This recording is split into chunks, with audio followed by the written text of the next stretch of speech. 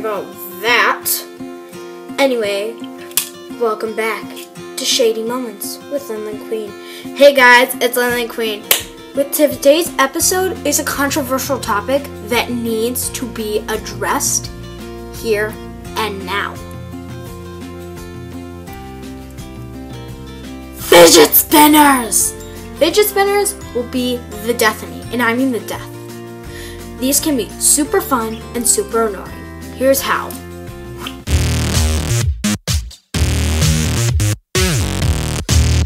You have a fidget spinner and you're taking a test and you need this to concentrate, I respect that. But if you're just taking using this because it's fun, I also respect that, but try to keep the noise level down. These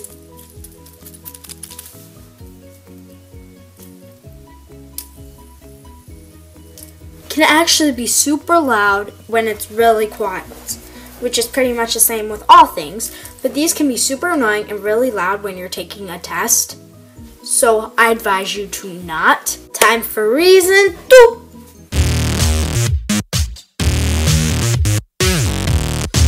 distraction, the distraction, the distraction! These are so distracting. Like, here, let me give you an example. Here, I've got a pen right here. You're trying to you're trying to write out your test. Why am I using a book? You're trying to write out your test on a book. You're trying to write out your test on a book apparently. And Johnny decides, I'm sorry if your name is Johnny, I'm just using it for the video. Johnny decides to play with his blue and gold fidget spinner. Go blue.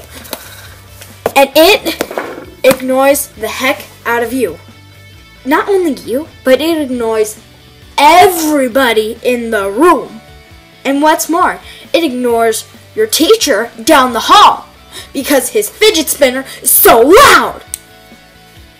On to the third and final reason these are annoying and fun.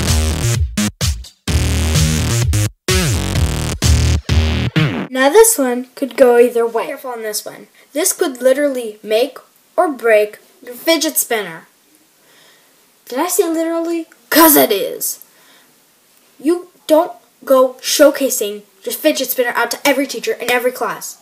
Some common sense, please. But if you are going to show it, Linlin Queen is here to help you pick the right teacher to show it to. Or to mess around with it. Mm. But not the point. You have a you gotta have a cool teacher who's tolerable of you. You've got to do it when she's in a good mood. And three, you've got to do it slowly. You can't just sit down, pull out your fidget spinner, and start spinning away. No, no, no. Jeez. You've got to slow down, get situated, get all your homework out, and while she's checking in the homework, pull out the fidget spinner and mess around with it. And then when she starts teaching, put it back. So, and rule do not show it to one of those stubborn teachers, or as some YouTubers call it, the French teacher. So that's all I've got today for you lovely, wonderful people. Tomorrow I'm hoping to do a Q&A, a question and answer for those of you who are new here, which you should probably should know.